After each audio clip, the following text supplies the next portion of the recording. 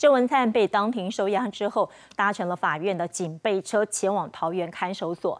狱方表示，郑文灿心情平静，也安排三位案情单纯被告跟他同住。曾任行政院副院长的他，也成了桃园看守所历年来关押被告的最大卡。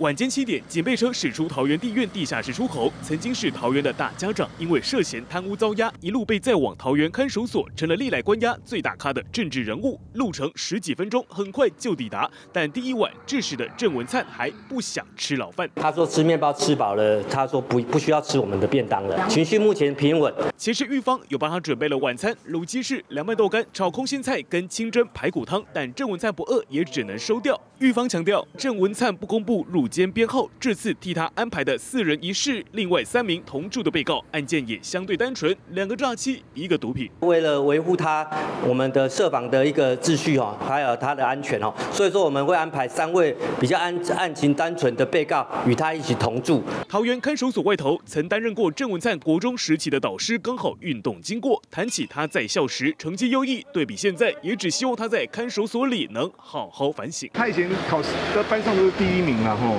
全校第一名，希望他好好的加油吧，反省一下加油。解送看守所的第一晚，郑文灿心情平静。桃园市长任内遭控收贿，随着案件审理，恐怕还得在里头蹲上好长一段时间。记者综合报道。